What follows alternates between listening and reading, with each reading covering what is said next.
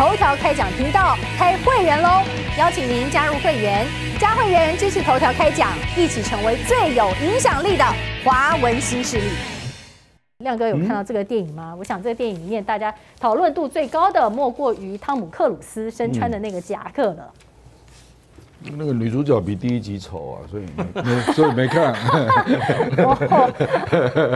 哎呦，这个把这一集我，因为之前就看了一些介绍，所以稍微了解剧情啊。是是是是，嗯，这种不，他就是在讲那个飞机很特殊了，那要去执行一个很特殊的任务嘛啊，那要试驾一起出，然后那个飞行难度很高啊，嗯，啊，那就是要去炸那个敌人的铀矿铀矿工厂这样。是是，我觉得大概就在秀他的那个军机啦，是，那那个军机大概就是速度非常快吧，然后要执行一个飞行难度很高的一个任务了。对，这这种片其实不，因为后来传出就是腾讯本来要投资嘛，对呀，实际上他投资也不大了，他总总金额只有一点七亿美元，嗯，所以这个并不算很贵的片嘛，说实在的啊。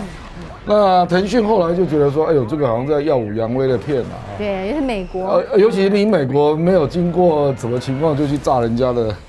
架敌国的铀矿工厂，这这个好像是在预告那个以色列去炸伊朗这样，不，就是有那个味道啦。所以腾讯后来想一想，还是不投资这样。嗯，因为目前中美关系不好嘛。对呀。不过这类片电影倒没什么啦，因为中国大陆自己也拍过。嗯哼。那个二零一七年中国大陆有一部片叫《空天猎》，你知道吗？嗯。你不知道？不知道。哦，你不知道？嗯。范冰冰的你不知道？当然，这个亮哥看的比较多了。这个空天猎你不知道？来来来来来，哦，这是什么剧照？可以剧照剧照剧照。来，空天猎，嗯，也是有出现运二十，还有那个歼歼哦歼二零嘛的战斗机啦。是。然后就李晨跟范冰冰了。嗯嗯嗯嗯。所所以也没什么啦，这个每个国家对它先进的武器。那军方觉得要让国民知道嘛，就这样嘛，是嘛？要宣扬一番。不过呢，当然就是最争议的就是这个夹克啊，有中华民国国旗，现在重现了，就有人就很嗨了。那《华尔街日报》是说，因为担心跟一部颂扬美军的电影扯上关系，可能引起中共高层震怒，因此腾讯就退出了对于影片的投资。电影当中呢，美国他你知道，真的就是要宣扬美国什么都行了哈。别人能不能不行？好，美国都可以。美国可以因为国家安全的考量，不用任何的合法程序，派出海军战机攻击某一国核弹原料工厂。而现实国际社会，俄罗斯为了自身安全利益出兵攻打乌克兰，可就马上遭到美国或甚至其他西方国家的斥责了。所以有人就质疑说：，所以别人都不行，只有华府可以这样搞吗？来，接大师。对。因为事实上，美国事实上这个，呃，你要说它是一个自由呃表达言论的地方哈，事实上看起来并不是。你光看这个这个美国好莱坞的电影，其实它一直有一个，我认为不只是自我审查的标准，是它有一个哈政府审查的标准。那比如说，我们就讲这个这个这次在第二集里面哈，这个《捍卫战士》第二集里面，那么我们中华民国国旗出现跟不出现的问题，第一集为什么没有？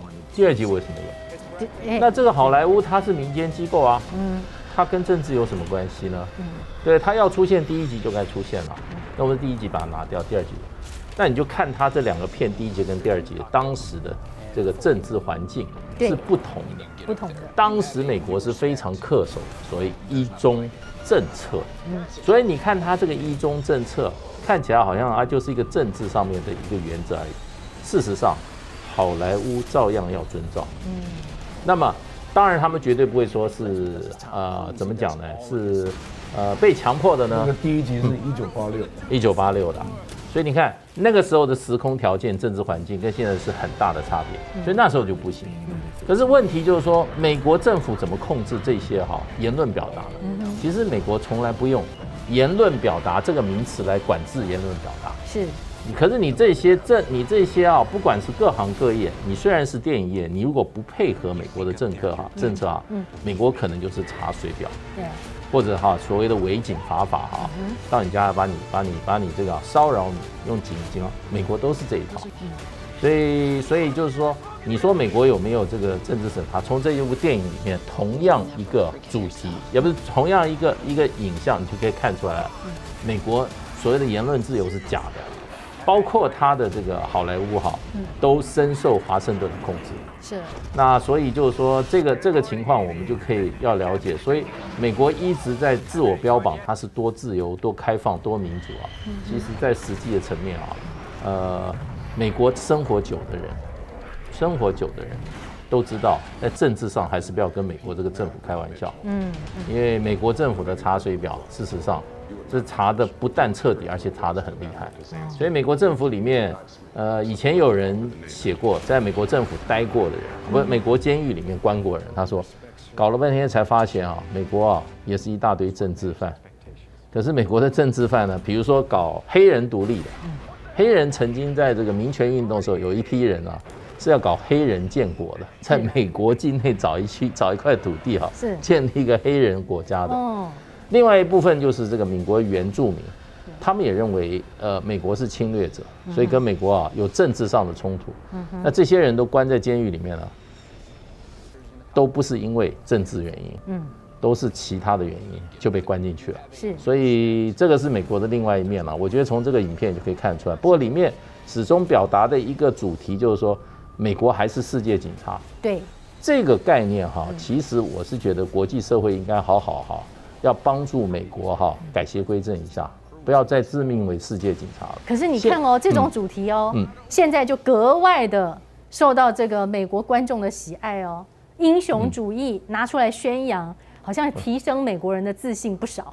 因为一只一一个受伤的警察比一个健康的警察更危险，因为他现在不但这个身体不是很完整啊，他精神上也很受创。所以就要看这种电影来啊，来做精神的疗愈。嗯，所以这么受欢迎的话，我想，因为美国人希望啊，还是希望他们自己国家做世界警察，嗯，所向无敌，是啊，是到处主持正义。而事实上，现在的国际社会是不允许这样子的行为的。嗯，美国必须要告诉他的好莱坞，不要再拍这种主题了。嗯，你所有这些行为都会显示美国是一个不遵守国际法。的一个霸权，一个霸权行为，应该在这在好莱坞的电影里面哈，就要教育他们的这个，教育他们的群众了啦。那单边主义在这个世界上已经是哈这个世界上的罪恶的冤罪恶的冤首之一了。嗯嗯，是。这个我补充一下。好好来。因为中国大陆拍这类片哦，比如说《战狼》啊，或者《空天猎》，它都是在对抗恐怖主义啦。哦，比如说战狼就是侨民被挟持嘛，嗯嗯，那他们是去救人，是。那美国这部电影是直接去侵略别的国家，哎，这不一样啊。嗯。而且啊，俄罗斯他说是侵略啊，他自己这样不叫侵略啊。嗯。我所以我想，借道史主要是在讲说，你这个不能。你那个主题总要有一定的正当性吧？对，乌克兰的国防部长也说，我们已经开始收到丹麦的鱼叉反舰飞弹了，跟美制的自走榴弹炮了，这可以让乌军从更远的地方去打击目标，要集成整个俄罗斯黑海舰队啊！你看乌军都放话，但是是不是真的有效呢？在另一头，我们倒是看到，哎，亮哥，其实普丁啊，现在啊可忙的呢，大家说他什么？英国媒体不是都在面报了吗？说什么他现在已经什么不在人世，还有甚至都说什么怎么样健康的因素等等等。可是现在人好像又好好的通话，跟很多国家的元首，包括有德国啦、法国啦、奥地利，甚至塞尔维亚。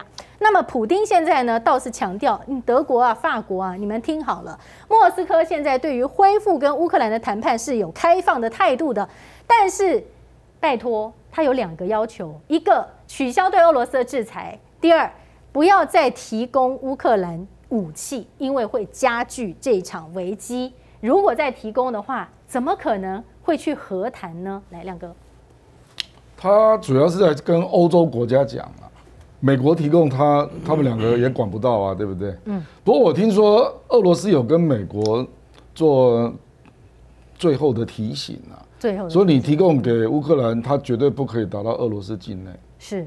你如果打到境内，那就是另外一回事了。嗯嗯，啊，表示说他要不管你你是谁了，反正我就是要报复了。是啊，那所以刚刚静平讲那个忧虑是存在的啊，因为乌克兰搞不好不小心就打到俄罗斯境内了，啊，因为海马斯真的可以打蛮远的啊。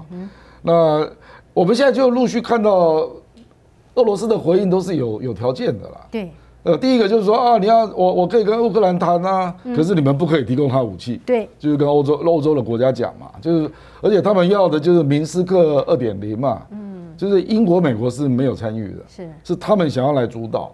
那他就说你没有搞定，你如果德国跟法国都提供武器，那我们就不用谈了，就这意思嘛。嗯那一一样嘛，你说要让我出口粮食，对那你先解解解解除我的制裁啊。是啊，所以俄罗斯现在的回应，并不都是完全同意啦，嗯，都是附带条件的。对，那那个条件就是欧洲回家要自己商量，那美国自己要想定嘛。嗯嗯。那至于说这个鱼叉飞弹啊，这个真的是很奇怪了，因为除非黑海舰队要打奥德萨，嗯，否则黑海舰队所在的位置是 Sevastopol，在克里米亚下面那个那个城市嘛，那个军港，嗯嗯，那距离奥德萨有三百公里。